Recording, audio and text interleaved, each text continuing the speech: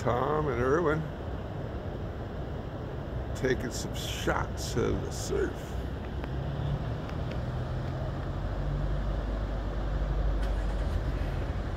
Catching some good ones out there.